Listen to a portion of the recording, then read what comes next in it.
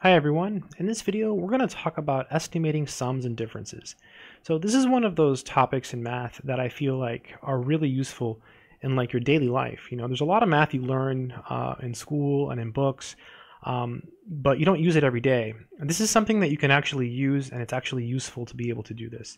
So what we mean by this is, say you have two numbers. Say you have uh, 856 and you want to subtract uh, 278 but you know you don't have you know like you know a piece of paper with you um, you're out at the street somewhere and you just want to do like quick math.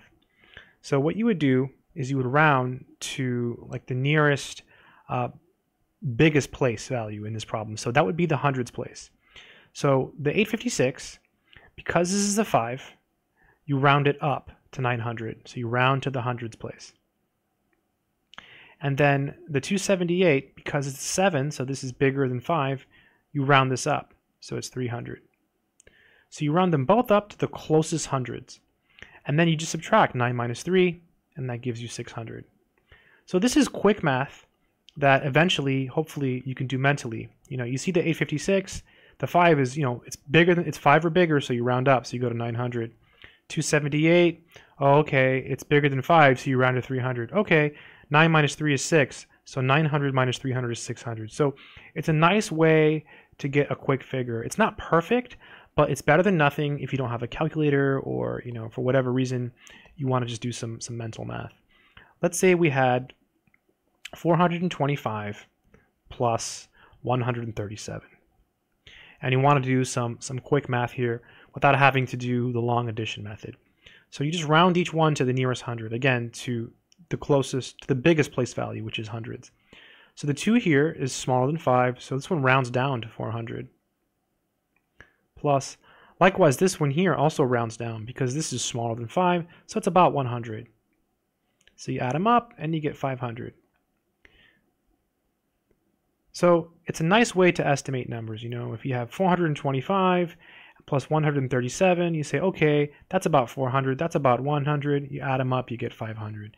It's a nice way to do mental math, and it's a good habit to get into.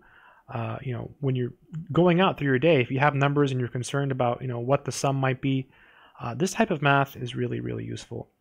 Let's say we have uh, smaller numbers. Say we have 54 minus 18 you say, ah, you know, if you, if you if you subtract those a long way, you're going to have to borrow some things and, you know, carry some stuff. Well, you don't have time for that sometimes.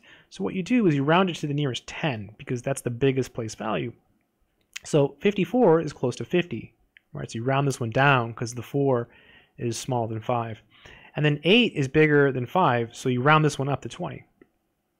So 54 minus 18 is kind of like 50 minus 20, so it's roughly 30. So it's a pretty good answer, right? It's a pretty good answer. Uh, let's let's do another one. Let's say we had um, 93 minus 28. Again, the biggest place value here is the tens place. So you want to round each one to the tens place. So the 93 will round down because the 3 is smaller than 5, so it's 90. And then this one will round up because the 8 is bigger than 5, so it's like 30. And even if you don't know about place values and about the rules, you know, 93, you can look at it and say, that's pretty close to 90. You know, and 28, ah, that's pretty close to 30. And now it becomes easy subtraction, right? 9 minus 3 is 6, so you get 60. That's what we mean by uh, estimating sums and differences. It's just a nice way to add and subtract numbers uh, when you're in a situation where you just need to do some quick mental math.